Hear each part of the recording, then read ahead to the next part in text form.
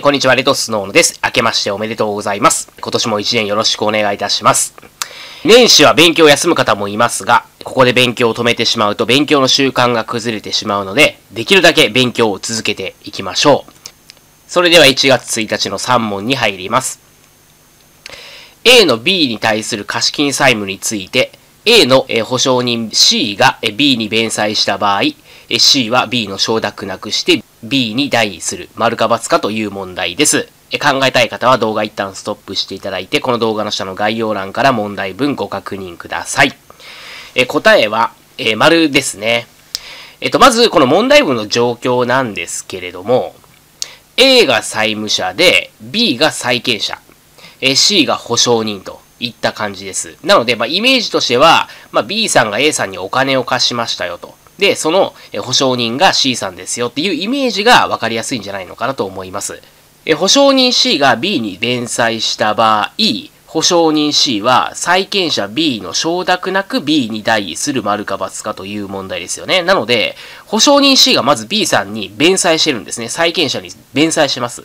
で、B に代位するっていうのは、イメージとしては、まあ、債権者 B の地位が C さんに移行すると。つまり C さんが債権者になる。もっと簡単に言えば、まあ、債権が C さんに移転すると。まあ、いったイメージなんですね。で、結論から言うと C が弁済すると、弁済によって当然に、え債権者 B が有していた、え債権、えこれが C に移動するんですね。で、債権者の同意は必要ありません。なので、丸になるということです。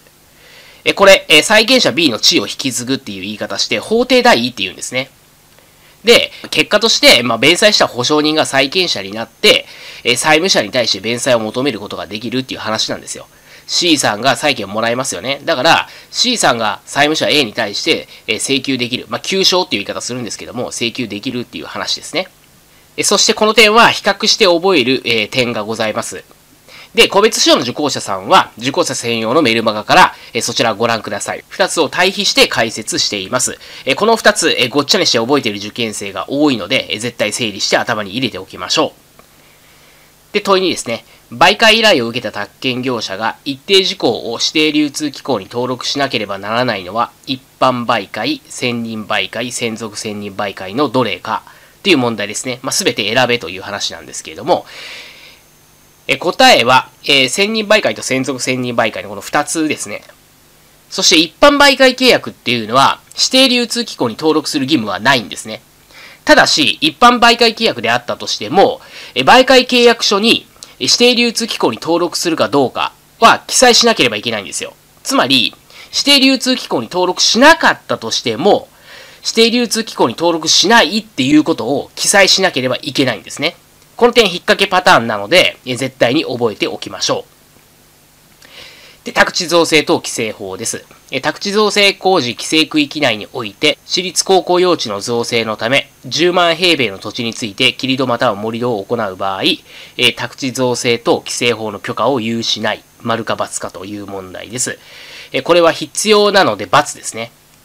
宅地造成等規制法でいう宅地っていうのは、農地、再送放牧地、森林、道路、公園、河川、まあ、その他政令で定める、えー、公共施設のように供されている土地以外の土地なんですね。で、この政令で定める公共施設のように供されている土地の中に、私立の高校ではなくて、まあ、公立の高校とかは入ってくるんですよ。公立の高校は入ってきます。なので、公立の高校は、これ宅地にはならないんですね。まあ、公立の高校のための用地ですね。は宅地にはなりません。しかし、私立高校用地っていうのは、これは宅地に当たります。で、今回は10万平米の造成工事なので、宅地造成等規制法の許可が必要だということです。公立高校用地は宅地ではありません。だから、宅地造成等規制法の許可の対象外で、まあ、許可は不要なんですね。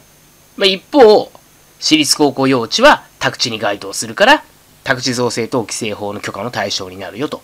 これは対して覚えておくと便利なので、頭に入れておきましょう。